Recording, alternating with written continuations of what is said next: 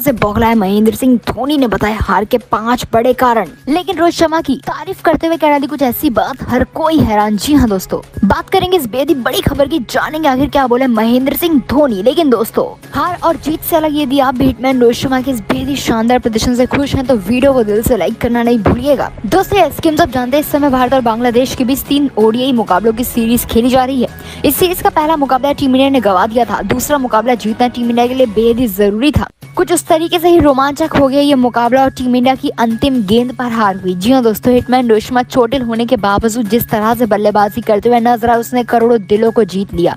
इस मैच के लिए बांग्लादेश टीम ने पहले टॉस जीता और गेंदबाजी करने के लिए भारतीय टीम को आमंत्रित किया। बांग्लादेश टीम ने पहले बल्लेबाजी की और लगातार छह बड़ी सफलता भारतीय गेंदबाजों ने ले ली थी, लेकिन सातवें विकेट के लिए एक बड़ी साझेदारी महमूदुल्ला और साथी मेहंदी हसन के बीच हुई। सत्य साझेदारी से टीम इंडिया ने इस मैच का रुख पलट ही दिया था क्योंकि टीम इंडिया संघर्ष करती हुई नज़र आई विकेट्स नहीं ले पाई। महमूदुल्ला ने सतहत्तर तो वहीं मेहंदी हसन ने सौ रन का योगदान दिया। टीम बांग्लादेश ने 50 ओवर में सात विकेट के नुकसान पर दो रन बनाकर दो रन का टारगेट भारतीय टीम के सामने रखा। टीम इंडिया की ओर से हिटमैन रोहित शर्मा ने ओपनिंग की शुरुआत नहीं की क्योंकि शाकिब अल हसन का कैच लपकने के चलते हिटमैन रोहित शर्मा चोटिल हो गए थे, जिसके बाद उन्हें अस्पताल भी ले जाया गया, लेकिन इसके बावजूद उन्होंने इस मैच में बल्लेबाजी में योगदान दिया।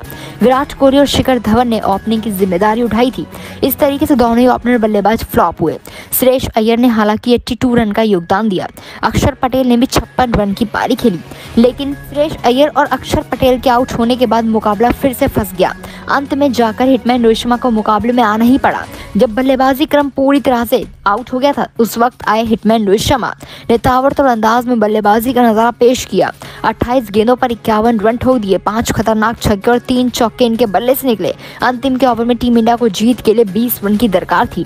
उस वक्त हिटमैन रोहित शर्मा ने लगातार दो चौके ठोक दिए। तीसरी गेंद पर कोई रन नहीं मिला, इसके बाद चौथी गेंद पर हिटमैन रोहित शर्मा ने छक्का ठोका। अब अंतिम की गेंद पर टीम को जीत के लिए एक गेंद पर छह रन की दरकार थी, लेकिन हिटमैन रोहित शर्मा एक बड़ा शॉट अंतिम की गेंद पर ठोक नहीं पाए, जिसके चलते पाँच रन से इस मैच को बांग्लादेश ने जीता। हालाँकि दोस्तों, जिस तरह से हिटमैन रोशमा ने बल्लेबाजी का नज़ारा पेश किया, उसने करोड़ों दिलों को जीत लिया।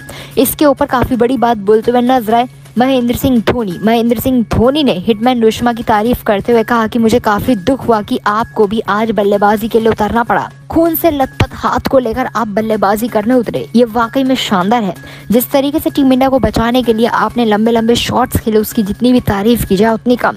शायद आज भारतीय टीम की जीत ना हुई हो, लेकिन इस पारी को तो बरसों तक याद रखा जाएगा। इसके साथ ही महेंद्र सिंह धोनी ने कहा कि टीम इंडिया की गेंदबाजी पूरी तरह से फ्लॉप रही।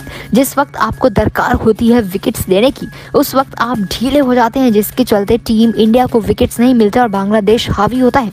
बल्लेबाज